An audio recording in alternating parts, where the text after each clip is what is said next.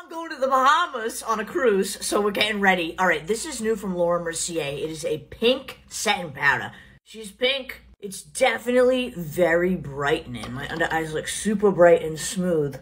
Took away like any texture, which is amazing. Watch my chin. See how it's shiny? You can see some texture. Once I put this on, smooth.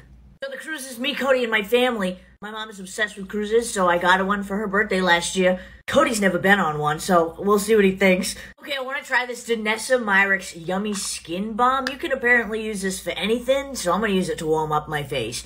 I'm just taking some on a brush, and I'm going to use this kind of like a cream bronzer. It's really pigmented. It essentially melted into my skin immediately. This is new from Fenty. It's a bronze shimmer powder. This packaging is sick. So cool, but how do you use it? It's a shimmery bronzer. Okay, go to pat three.